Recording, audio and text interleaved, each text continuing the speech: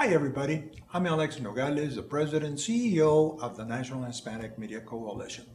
Well, as many of you know, broadband for everyone is becoming a reality, hopefully in very short order. The FCC has conducted its research, has sent to Congress its recommendations for their approval, and hopefully we will have broadband for everyone soon. Now we're going into the second part of the internet, and that is network neutrality, something that we are very much in favor for because it means that we can bring the prices of being on the internet down, that we can utilize all the applications that exist for us uh, for very little money, if any money at all. You can download films, you can do all kinds of wonderful things. Now, we met with some very nice people not too long ago in Washington, D.C., an organization by the name of Skype. Now, some of you may know Skype. I don't happen to or didn't happen to up to that point.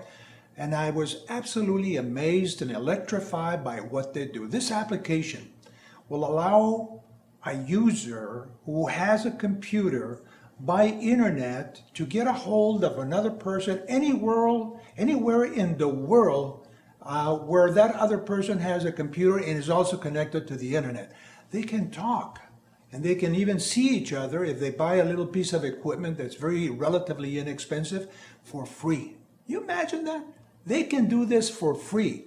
If you want to call to Mexico and you uh, the other person at the other end of the line does not have a computer, is not connected to the internet, and you call their phone, the rate that they're going to charge you is much less than what it would be if you were to use one of the telephone companies to make that call. This is incredible.